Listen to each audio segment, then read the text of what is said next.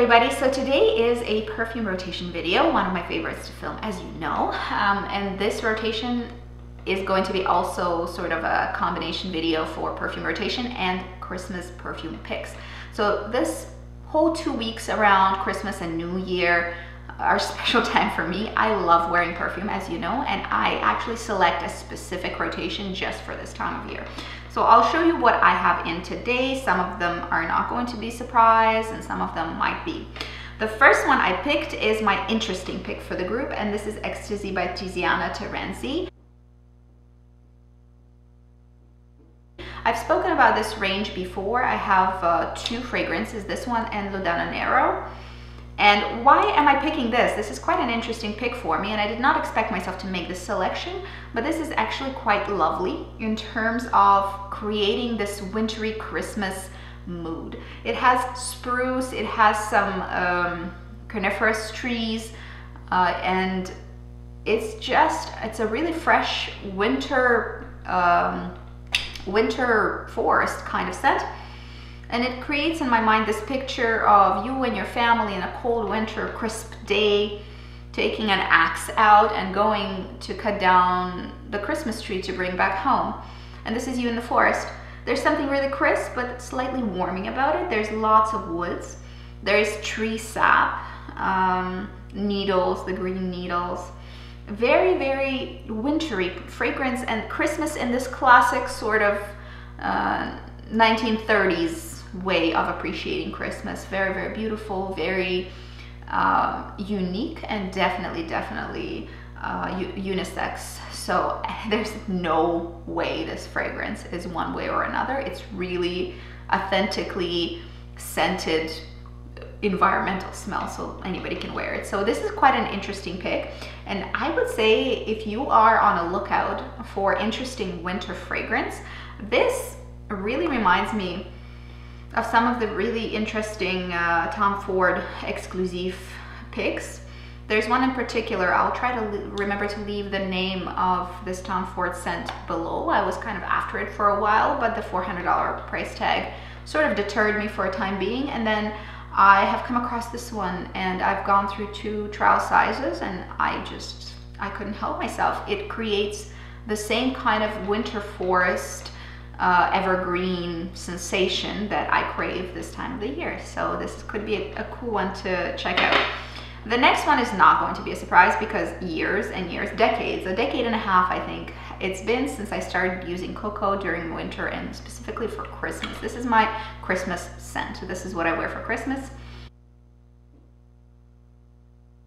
Every year for the last n number of years. And I've spoken about this perfume before and I've done a whole review about it.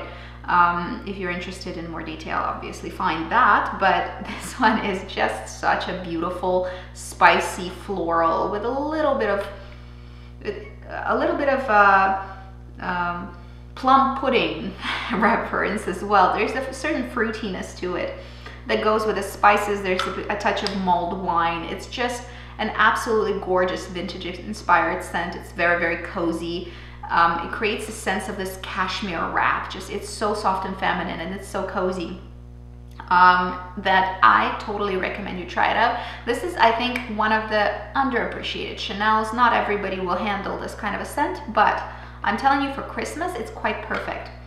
And I've spoken about this before. It creates this sensation of beginning of 20th century England, um, sort of uh, getaway when the family gets together, not in London, somewhere maybe in Chester, I don't know. And they they have the cook make this beautiful pudding and uh, they hide the prize in the pudding and then they find it during Christmas dinner.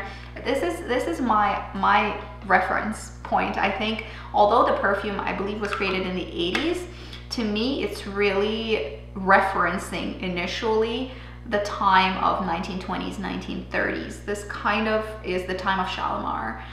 This is this is a very very beautiful, wonderfully crafted perfume. I'm so happy that it's still sold. I urge you to check it out if you are into these spicy florals with a vintage vibe. It's very very cool. Um, next one is also has been a pick for winter fragrances for me, but I, I saved it for New Year's. I think this is going to be a New Year's scent for me. And I, I think I'm, this is going to be also probably multiple years kind of New Year's scent. This I have talked about previously, and this is an excessive, crazy, boozy, wonderful concoction of everything you can think of.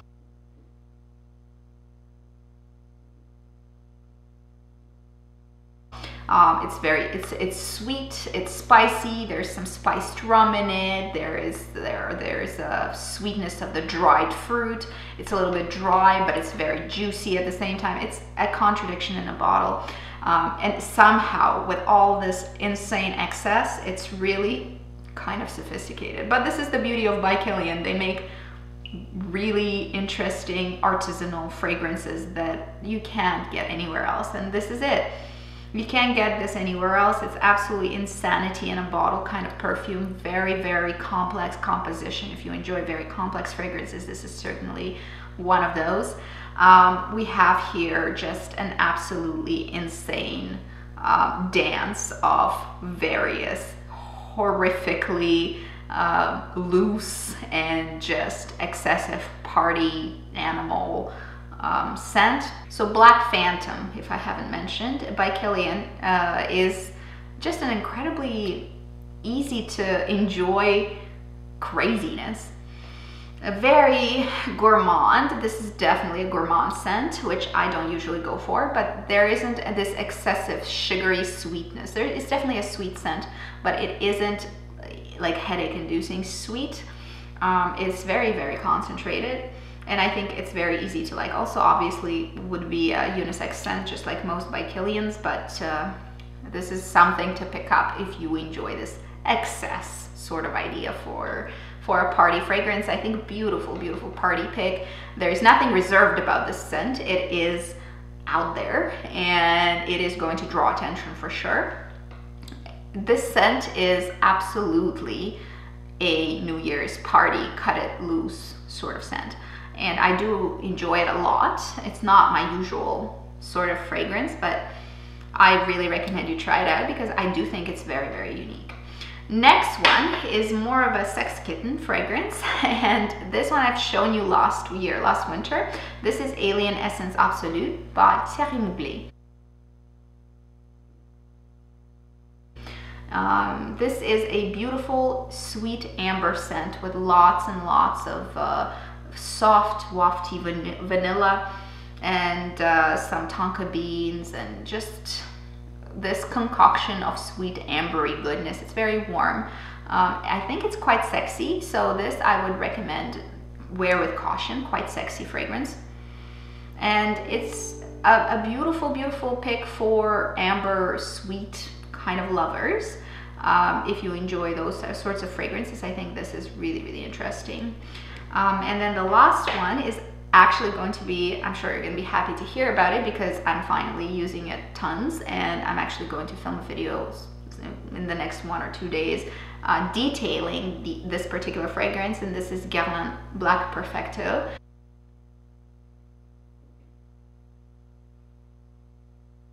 Uh, from the La Petite Robe range. If you know my videos, you know that I, I like to really wear the fragrance in before I talk about it in detail because I am not a channel which uh, does first impressions. I prefer to really sort of form an idea or thought behind some fragrance or makeup item I review because to me that's the most useful thing for consumers. Therefore, I don't necessarily discuss the freshest on the market kinds of scents, but I do discuss scents that I have worn at least maybe 10 to 15 times and I am able to comment on them.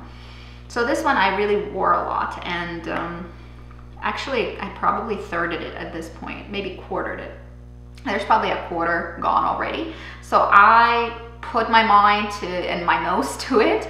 I have to say I'm impressed and Guerlain has, had not been impressing me recently with their fragrance releases with the Mon Guerlain. The previous La Petite Noire iteration with the blueberry was not my thing. I thought it was you know, uh, just a bit of a shoddy workmanship and they could have done better. But this one, this one I have to say really did impress me. I think they added just the right mix of notes.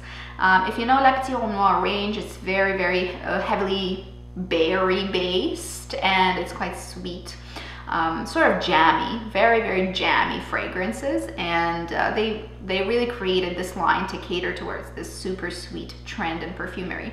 I think this is still within that trend and there's nothing wrong with it. And it's still a gourmand and there's tons of cherry, very sweet, still jammy. But they did add what they say is leather to me really smells like very, very soft processed suede. And it is a much more sophisticated version, a, a, really nice twist on Le Petit Robe Noir. I think Le Petit Robe Noir can come off a little bit juvenile just because of the nature of the fragrance. It's well constructed for sure, but because of the kind of fragrance it is, it's really associated with young millennials 10 years ago or five years ago. Uh, but Black Perfecto, it has sophistication to it. It has a touch of grounding in the what they call leather, but I think it's more suede. And they have a lot more woodiness to it. Uh, notes are very well tied together. They're grounded not just in sweetness, sweetness but there is a there's lots of uh, rosy undertones to it. It makes it quite a lot more perfumery and less edible per se. And the cherry is smokier. To me, this whatever combination they've done with the top notes, it really mellowed down the uh, sugariness of the cherry. Uh, it's still sweet, but it's much more grounded and there's a dusty quality to it, which I think is very sophisticated.